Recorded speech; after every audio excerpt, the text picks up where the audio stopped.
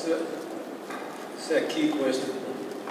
Uh, when, when, when I grow up, my, my education, uh, at the time I was a teenager, I was getting my, my political consciousness.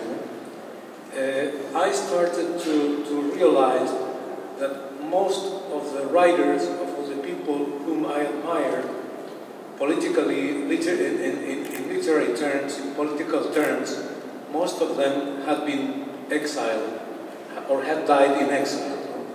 Because uh, I was the, I belonged to the generation of the grandchildren of those who fought and lost the Civil War. So when I started reading and when I started to acquire uh, uh, a political consciousness uh, and, and a sense, a, very strong sense of opposition to the dictatorship, no?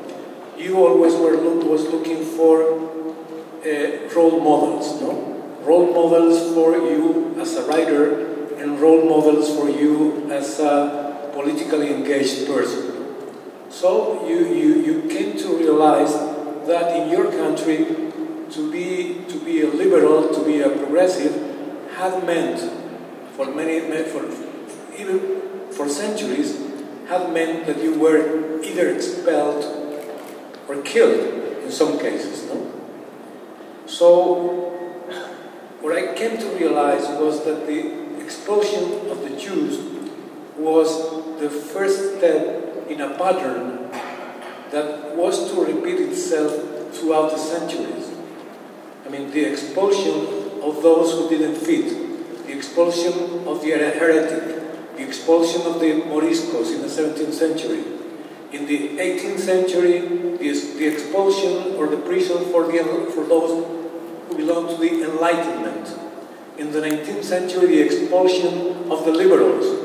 Many liberal, many liberal Spaniards went into exile after the absolutist king Ferdinand VII came back to power. No, uh, so and throughout the, the, the, the, 19th century and then the 20th century, uh, every time there was an attempt to to to establish a democratic system in, in my country, we were so unlucky that it, it failed, and it failed because these people were expelled.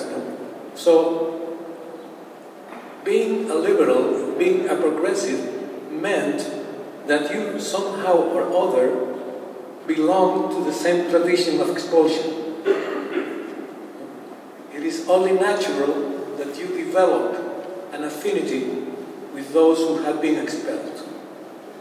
And on the other hand, if you come, eh, if you come from a, from a from a, work, from a working class background and you go on to, to, to high school and then to college and you go to college with a scholarship, you, you, you feel that you don't exactly belong to this world because this, this is the world of privilege. No? I mean, I, I, I, I am part of the first generation of working class children who in Spain went on to have a, a college education. So this is a, a social class issue. No?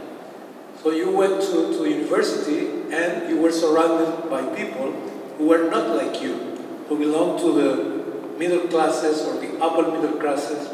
So you felt slightly aside. No? You felt, you always felt a nagging sense of not really, not fully belong. And perhaps this is the reason, aside from, from obvious sympathy for the sufferings of, of people, no?